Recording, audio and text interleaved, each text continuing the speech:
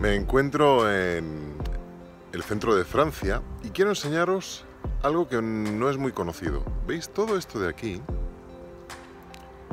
es un puente en hierro completamente con un arco. Fue construido entre 1881 y 1884.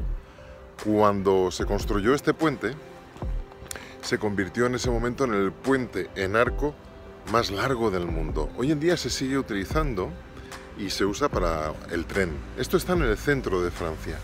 Y si, queréis eh, saber qué puente se trata, es el puente del Gabarit, como suena.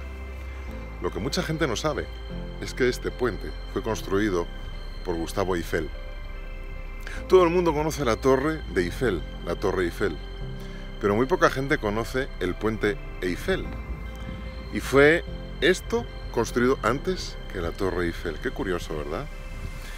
A veces se nos encasilla, encasillan a la gente por un hecho, por un acto, por algo concreto. Y perdemos eh, de vista toda la amplitud de su obra, las muchas cosas que hizo.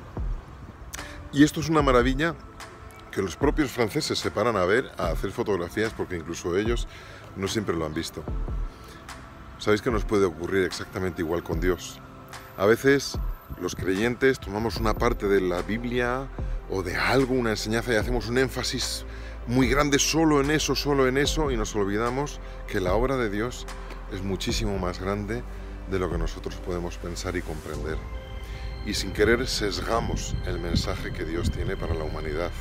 Y eso hace que los que no creen en nada tengan una impresión errónea por nuestra mala representación de ese Dios. Yo te invito a que no te encasilles y a que realmente te acerques a la obra completa de Dios a través de la Biblia, es donde lo vas a encontrar en su pura esencia, y aprendas más